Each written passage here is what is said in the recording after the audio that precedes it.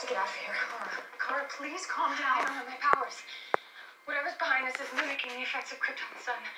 We are on Krypton. But no, someone is manipulating me by using my memories against me. Do you see that? I made it for my father when I was eight.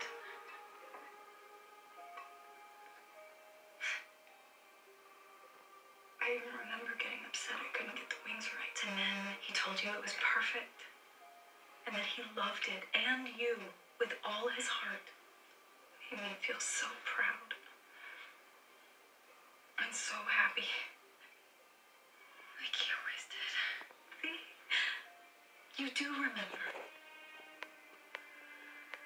I also remember saying goodbye to you on that launch bay and promising to take care of Clark, Kal-El,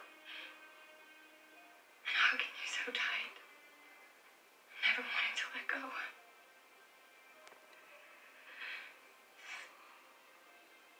I fantasized about all of this every day since I left.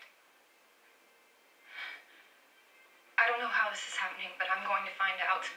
And when I do, I'm going home.